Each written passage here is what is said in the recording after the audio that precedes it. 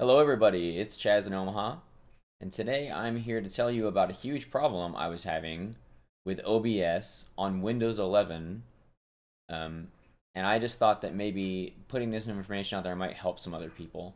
So um, I would randomly have OBS freezing or hanging, and then it just like would, it wouldn't crash, it would just kind of stay there, and my stream would freeze, and I'd have to like control, delete, uh, you know, pull up Task Manager and kill OBS and restart the stream, and it would happen pretty consistently.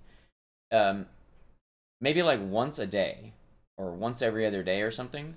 But then we started playing the D4 beta, and I guess because of the much greater load on my computer, it started happening anywhere between every five minutes to an hour.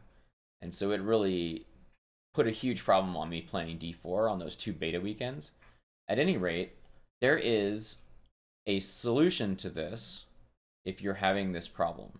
So basically you just hit start, start typing display, and then you'll get this display settings thing. You open this up, scroll down just a little bit, and go to the graphics here. And then at the very top here, there's a little option in text, change default graphics settings. You open this up, and this option right here is what I had to turn off.